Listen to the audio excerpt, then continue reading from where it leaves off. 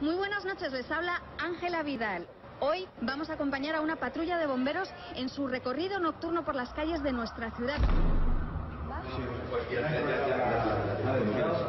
Voy. Estamos eh, frente a la puerta de la casa en la cual parece ser que una vecina ha tenido algún problema. ¡Llama a la policía! Dejar de grabar ya. Sigue grabando. Viene una ambulancia inmediatamente. Muy bien. Es un genio muy La situación es insostenible. Hay dos muertos.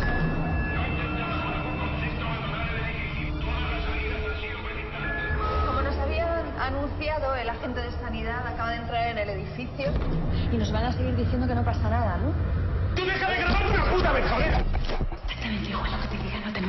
Valeria, hay que contar lo que está pasando.